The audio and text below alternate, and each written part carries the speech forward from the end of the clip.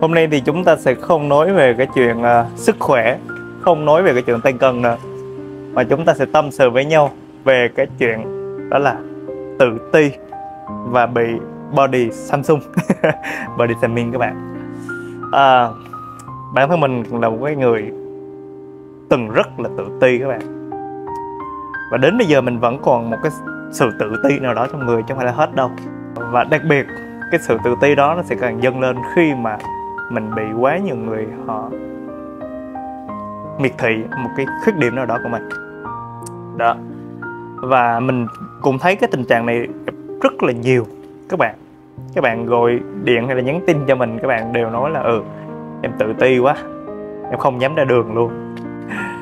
Thì các bạn tôi rất hiểu các bạn. Bản thân tôi ốm rất lâu và tôi cũng nghe những cái lời nói đó rất là nhiều.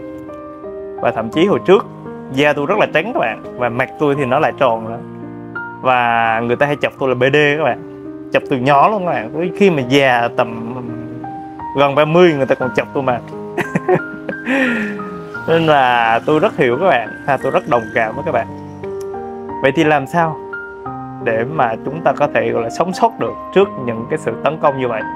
Theo mình nghĩ đó là chúng ta phải phát triển và phải dám đối mặt với nó. À, phải phát triển là sao? Ví dụ bây giờ chúng ta thấy ốm quá thì chúng ta phải tìm cách chúng ta tăng ký lên, đúng không? Tìm cách tăng ký lên đi, người ta hết nói thôi.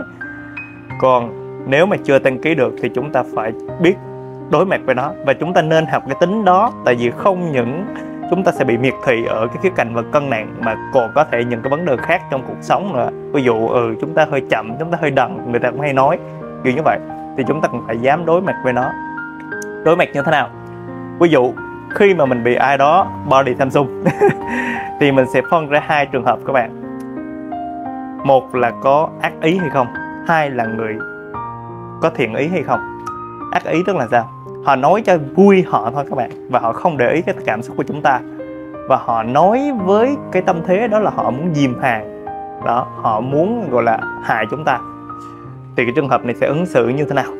Với mình nha các bạn, mình đối mặt thẳng và nó và mình sẽ nói luôn ờ tao ốm thiệt. Ừ, dạo này tao thấy tao tụt ký quá. Nhưng mà được cái là cái nết tao nó, nó còn xài được. Tao không có bị vô nhân thúi. Tao không có đi nói xấu người ta mày ơi. Tao thấy có những đứa mà ù mập mạp trắng trẻo nhưng mà nhân cách không xài được. Cái nết nó không có xài được nữa. Buồn ghê mày. Cái kiểu như vậy các bạn. Tôi nói chuyện hay khịa người ta lắm. Đương nhiên là các bạn phải đảm bảo sự an toàn cho các bạn nha. Còn với cái trường hợp à, là những cái người có thiện ý với chúng ta. Ví dụ những người thân trong nhà ba mẹ chúng ta nói ừ sao dạo này con ốm vậy? Thì mình cứ đối diện nó thôi các bạn. Mình cứ đối diện với họ thôi các bạn. Đó là mình ừ dạo này con ốm thiệt. À, con cũng không biết sao nữa chắc là do con ờ, bị căng thẳng quá hoặc là con hay thức khuya quá. Thì nếu vậy đỡ thời gian tới con cố gắng con cải thiện. Đó. Thì chúng ta đối mặt chúng ta tâm sự với họ để mà giải tỏa đi cái cảm xúc tiêu cực của chúng ta cái sự tự ti của chúng ta các bạn thì lúc đó tâm trạng các bạn sẽ tốt hơn. Còn nếu mà các bạn cứ chạy trốn miết thì nó không có mất các bạn nó không có mất. Nó vẫn những cái sự tổn thương đó nó vẫn còn nằm trong tâm các bạn. Và các bạn sẽ dần trở thành một cái con người tự ti thậm chí là các bạn bị trầm cảm luôn. Đó một cái người dám đối mặt thì họ sẽ không không gặp tình trạng trầm, trầm cảm đâu. Trầm cảm là những cái người mà họ cứ chạy trốn những cái sự tấn công đó thì họ mới bị vậy thôi. Đó nên là cái quan điểm của mình là như vậy. Và hy vọng thì nó có thể giúp các bạn đồng cảm được một cái gì đó, có thể giúp các bạn san sẻ được một cái tâm trạng nào đó. À rồi. Chúc các bạn sức khỏe. Minh trí đồng hành cùng bạn. Tăng cân an lành